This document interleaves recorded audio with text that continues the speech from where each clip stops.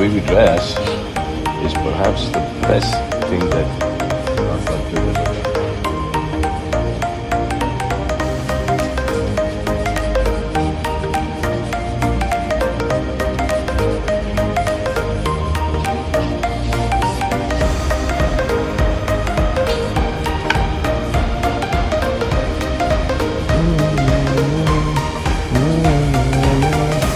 Oh,